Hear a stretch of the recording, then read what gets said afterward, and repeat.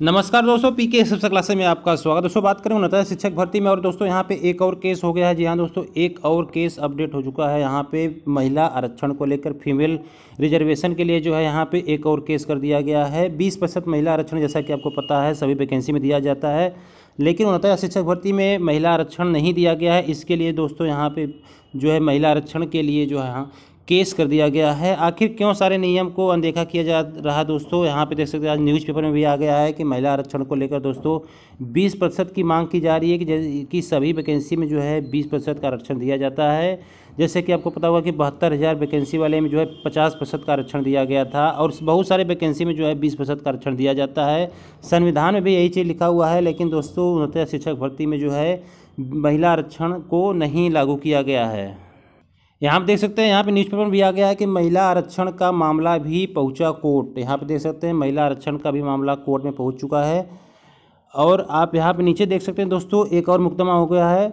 बहत्तर हज़ार आठ सौ पच्चीस प्रशिक्षु शिक्षक भर्ती में महिलाओं को मिला था पचास प्रतिशत पर। यहाँ पे देख सकते हैं, जो बहत्तर हज़ार वैकेंसी आई थी, उसमें जो है पचास प्रतिशत का आरक्षण मिला था। इसके बाद आप देख सकते हैं, उन्नीस सौ निन्यानवे, दो हज़ार तीन, दो हज़ार सात और अट्ठाईस अगस्त दो हज़ार पंद्रह को हो चुका है शासनादेश।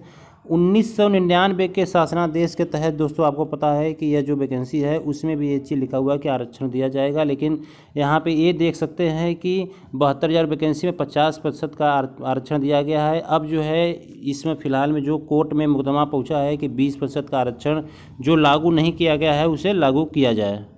यहाँ आप देख सकते हैं दोस्तों, यहाँ पे साफ़ साफ़ ये चीज़ लिखा हुआ है कि सभी वैकेंसी में चाहे अधीनस्थ लोक सेवा आयोग हो, चाहे कोई भी वैकेंसी हो, इसमें जो है बीस प्रतिशत छैंतीस छैंतीस आरक्षण का जो है यहाँ पे कोटा होता है महिलाओं का, लेकिन जो है इस वाले उनहत्तर शिक्षक भर्ती में कोई भी जो है कोटा नहीं लागू किया गया है छैंतीस आरक्षण महिलाओं के लिए। और यहाँ पर देख सकते हैं जो पिटिशनर है, यहाँ पे देख सकते हैं कि साफ़ साफ़ लिख दिया गया कि उनहत्तर या शिक्षक भर्ती में बीस प्रतिशत पदों पर छैंतीस आरक्षण लागू कराने के लिए लखनऊ की मीना कुशवाहा व अन्य ने हाईकोर्ट की लखनऊ बेंच में याचिका दाखिल की है, जिस पर सुनवाई करते हुए जस्टिस मनीष कुमार ने सोमवार को बेसिक शिक्षा विभाग से जवाब तलब किया। तो यानी कि यहाँ पे मंडे को देख सकते हैं कि मंडे को हो सकता है कि यहाँ पे आ जाए बेसिक शिक्षा के तरफ़ से बीएससी की तरफ़ से कि आखिर में बीस प्रतिशत का जो है आरक्षण महिलाओं को क्यों नहीं दिया गया है? किस के तहत जो है इस, किस नियमावली के तहत जो है इस वैकेंसी को कराया जा रहा है? तो दोस्तों, अब देखना है कि मंडे को क्या जो है यहाँ पे निर्णय आता है हाई कोर्ट का। जैसा कि जैसे भी कुछ निर्णय लखनऊ बेंच हाई कोर्ट का आएगा, मैं आपको अपडेट दे दूँगा। अभी फ़िलहाल में दोस्तों नए नए जो है यहाँ पे केस अपडेट हो रहे हैं। कभी कोई केस आ रहा है, कभी कोई केस आ रहा है। तो अब उनहत्तर शिक्षक भर्ती में पेच फंसता नज़र आ रहा है कि बहुत सारे इसमें कोर्ट केस हो चुका है।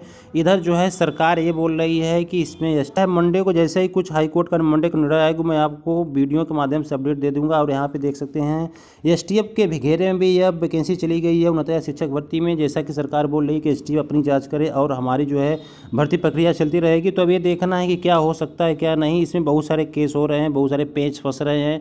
जो भी एक सौ तिरालीस नंबर पाए हैं, वो सारों को जो है, जो सभी जो है यहाँ पे जेल में है, यानी सभी भ्रष्टाचार के तहत जो है इतने नंबर पाए थे। उम्मीद करता हूँ वीडियो पसंद है लाइक से सब्सक्राइब करना ज़रूरी है इसी प्रकार से आपको अपडेट मिलता रहेगा। धन्यवाद।